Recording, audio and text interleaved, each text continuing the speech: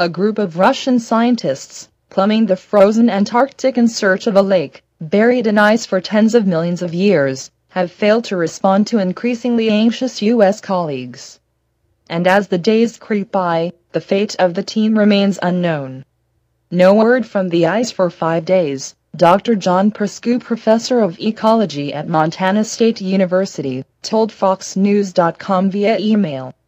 The team from Russia's Arctic and Antarctic Research Institute, or AARI, have been drilling for weeks in an effort to reach isolated Lake Vostok, a vast, dark body of water hidden 13,000 feet below the ice sheet surface. The lake hasn't been exposed to air in more than 20 million years. Priscu said there was no way to get in touch with the team. And the already cold weather is set to plunge as Antarctica's summer season ends and winter sets in. Temps are dropping below minus 40 degrees Celsius, and they have only a week or so left before they have to winterize the station, he said. I can only imagine what things must be like at Vostok Station this week.